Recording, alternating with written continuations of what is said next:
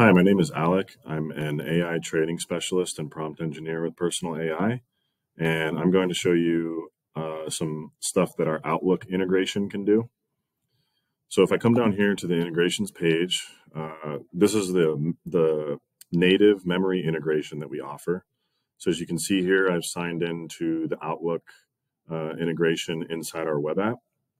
When I come over here to the three dots and click on manage after I've signed in, um, I can choose which label I want to uh, basically trigger the emails to come from. So what I'm doing right now is I'm setting, this is an integration that's set up to have uh, my emails go straight to my AI's memory. So it's a great way to train the AI on my voice and, and uh, train the AI on how to respond for, to emails and things like that when I have all of the emails uh, that I want inside my AI's memory. So syncing emails by label, so I can choose which label uh, I want to basically label the email or which particular email I want to put into my memory. I can do this this way and choose the label I want to use. Then over here, I can select the personas that I want uh, that email to go to. So the personas you can think of are similar to like subject matter experts.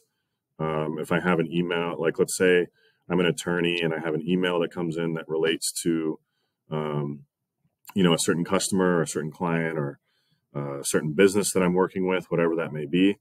Uh, I, and I want that to be saved to my particular persona's memory. I can choose that there.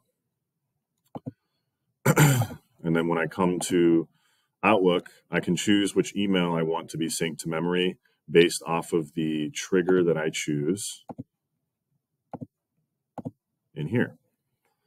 So then the next uh, automation I'm going to show you is actual email drafting.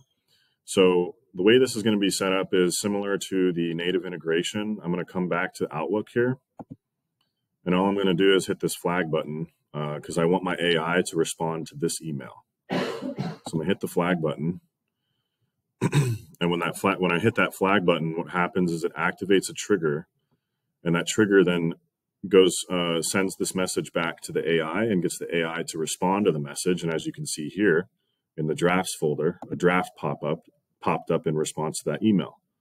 So first, let's take a look at the email. Hi there. Do you have any advice for me if I've been in a car accident?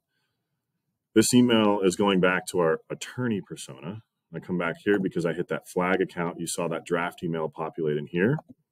And I can click here and I have a response from the AI uh, that says I will have to get back to you on that matter because we've trained the uh, the persona not to take not to give out any uh, legal advice to customers um, in emails.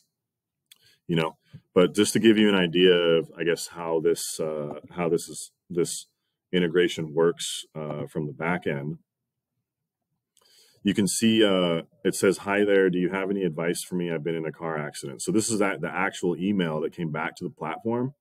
And then the response came back um, because we had this uh, personal score threshold turned on also. So generally, you know, I can choose what I want uh, to respond. I can choose the personal scores that I want to generate from the responses my uh, my AI gives.